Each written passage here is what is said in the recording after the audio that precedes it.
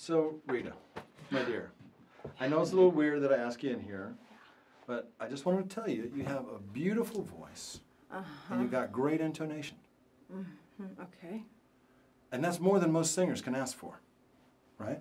okay, But I think your breathing is not quite right.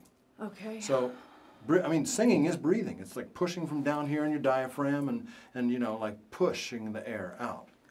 All right, so here's what I want you to do. Is I want you to take this, this tennis ball, and I want you to put it between the, uh, see like that, between the heels of your hands, interlace your fingers, like a lotus prayer position, right? You do it, right? Now just to, not like a wrestler, just be comfortable, and just squeeze there, and you feel all the muscles engaging down your diaphragm there?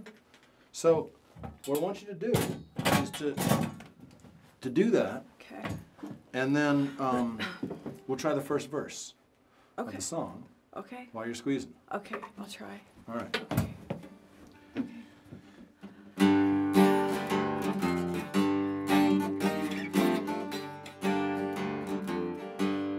If you feel the angels above while you sleep, then I'll be the blood you paint on your door.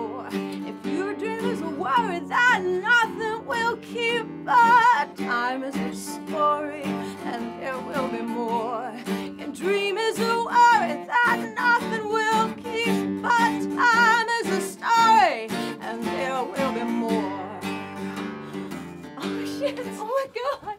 Ah, thank you so much. Thanks. Wow. Keep practicing. Okay. All right. Okay.